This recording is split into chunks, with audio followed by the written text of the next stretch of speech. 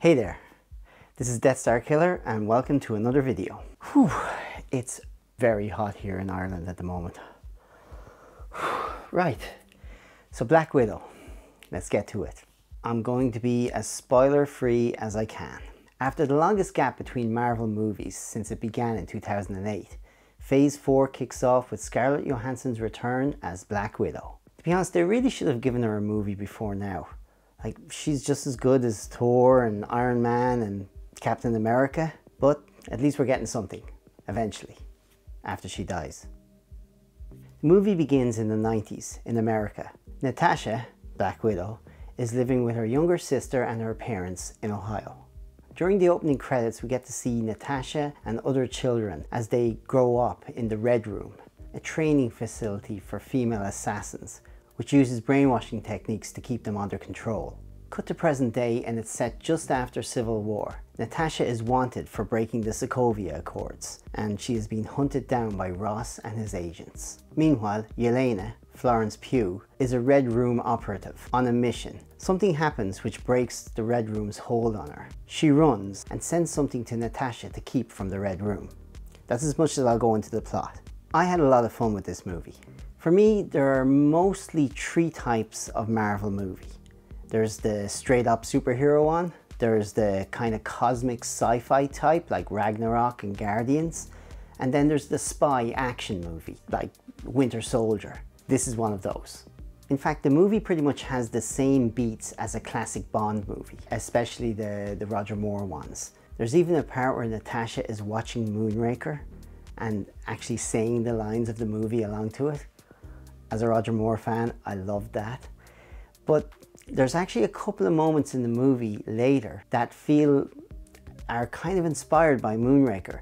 Now the director has since come out and said that that's just a coincidence, but it seems pretty big coincidence to me. See if you can spot them. I saw two. Okay, I'll go into the good and the bad of the movie. The good.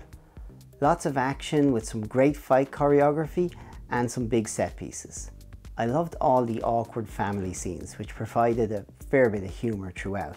David Harbour is a hoot as the Red Guardian and the father figure of the girls. Scarlett Johansson, as always, is solid as Natasha, Black Widow, but I do wish they'd given her just a little bit more to do in this. However, Florence Pugh was an absolute standout as Yelena, and I'm sure we'll be seeing more of her in future movies or TV shows. The not so good. Ray Winstone as Dreykov, the, the big bad of the piece, is a pretty boring character. He doesn't even come into it the last 15-20 minutes of the movie.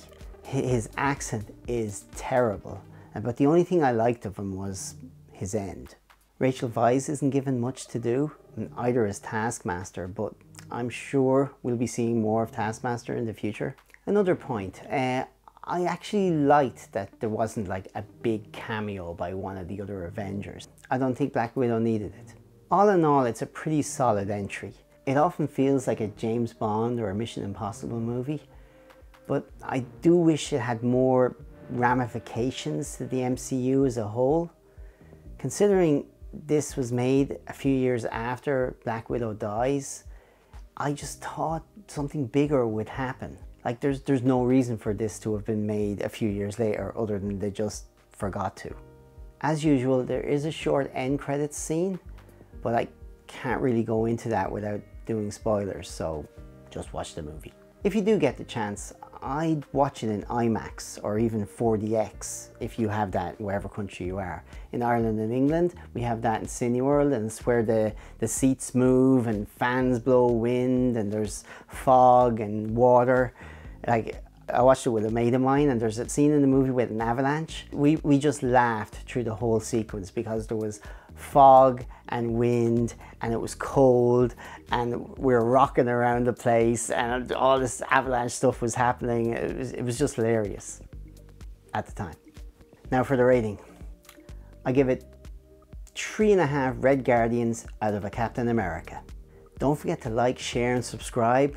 Click the bell if you want to see notifications of when I put up new videos. Until the next time, this is Death Star Killer, signing off.